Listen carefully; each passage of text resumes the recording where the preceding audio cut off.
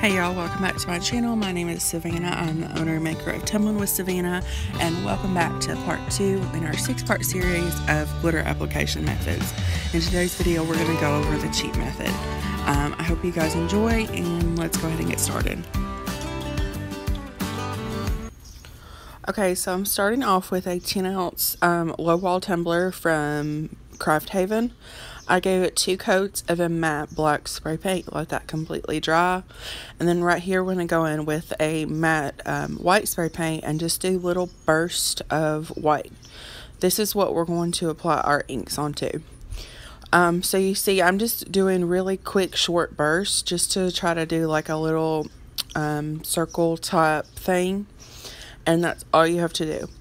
Um, this was a really small cup, so I didn't have a whole lot to work with, but it wasn't too bad. So once that completely dried, I cut some makeup sponges in half just to make them go further. And then I'm going to dip um, those sponges in some alcohol inks. You guys can choose any color you like. And we're just going to pounce our makeup brushes up and down on that white spot. But this is what I do for the like the whole process of the cup. It is so easy to do. You cannot mess it up.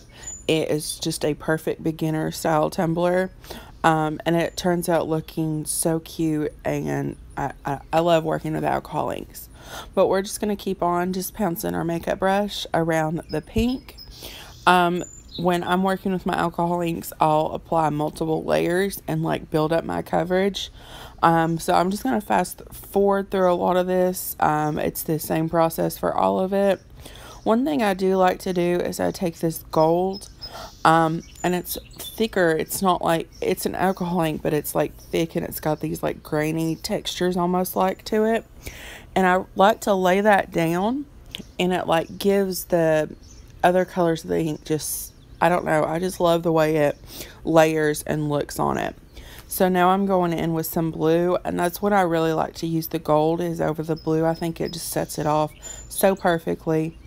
But we're just going to keep layering um, our alcohol inks in there. You'll see I'm doing like an array of colors on the blue because I have multiple colors of those. Um, but yeah, this is just what we're going to keep doing. Um, so yeah, I'm just going to let this play and get these inks on here.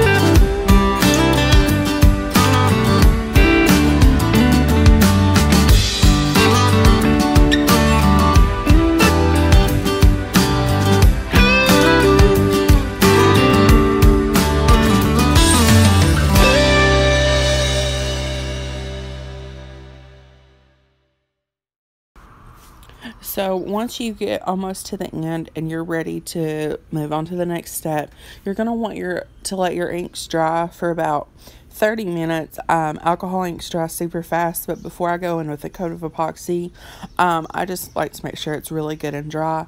Um, I don't seal my inks, but we're going to talk about the cheat method glitter today. Um, any microfine um, glitter will work. My favorites to use are Bright, Fireflies, or that Magic Dust.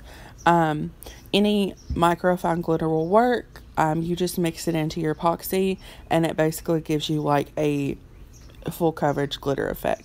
So I'm going to use this Magic Dust from Glitter Craze, I believe. And this bottle is like a lifetime supply. I'm never going to run out because you don't need very much at all.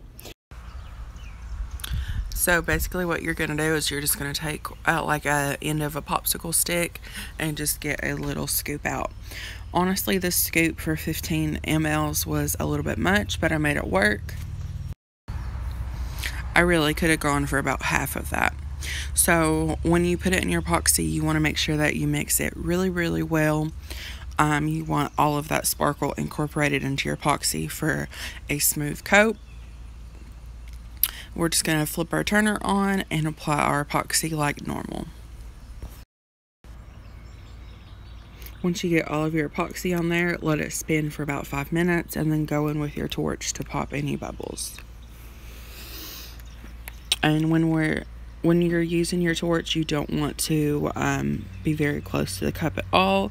Just a quick three to five seconds over it.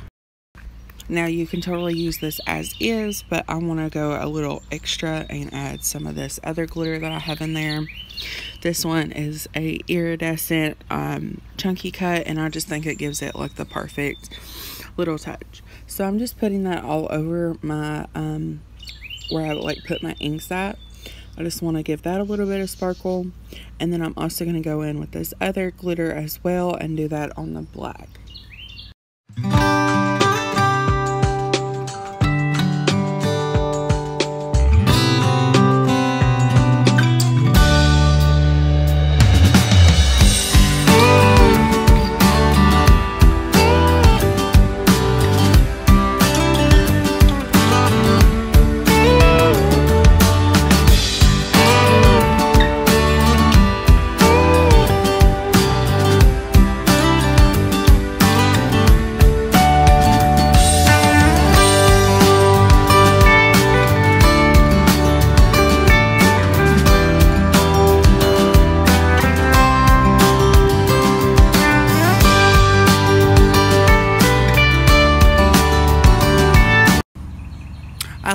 Coat completely dry, went in and did another coat, then did my rim sanding and did the final coat of epoxy. So this was only like three coats of epoxy in total. And we were completely done after this and this was the final result. I'm absolutely in love with this. I think it is so cute and that cheat method glitter way was like the total way to go for this. Um, I think it turned out absolutely gorgeous. I opted out of doing a decal um, I thought it was just fine on its own. If you wanted to do something or do something different, you totally can. Let me know what you guys think down in the comments, and we will see you next time. If you like this video, you can check out our last one here. And don't forget to follow us on Facebook, Instagram, Pinterest, TikTok. We're all over the place, and I'd love to see you over there. Thanks so much for watching.